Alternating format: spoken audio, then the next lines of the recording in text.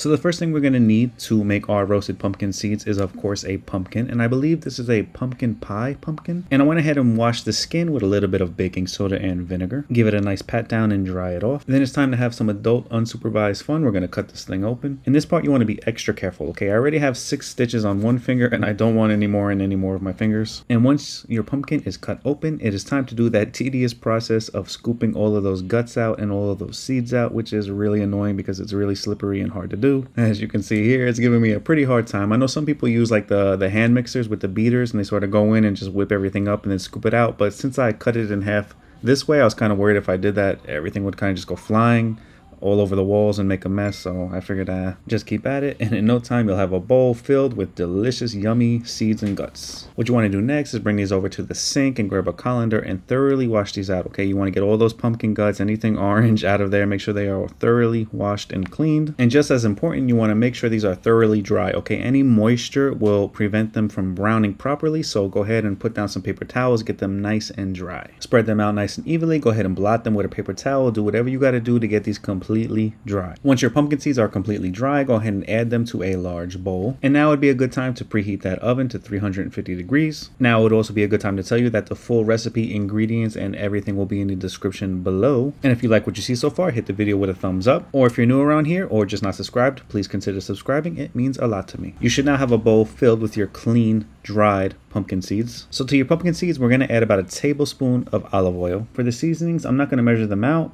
but I'm going to do about one half teaspoon of kosher salt, one fourth teaspoon of the following, paprika, garlic powder, onion powder, and black pepper. We're going to give this a good mixing, the mixing it deserves. Then we're going down with a baking tray, aluminum foil, lightly greased. Pour your seeds right on. Spread those pepperoni tonis out so that they're in a nice even layer. This way they brown evenly and nicely. And with our oven preheated to 350 degrees, we are going to bake these for 15 minutes. Going in every five minutes and giving them a little toss to make sure that they uh, brown evenly and nicely. And that's it. Your toasted pumpkin seeds are done. These things are literally so good. Once you eat one, you cannot stop.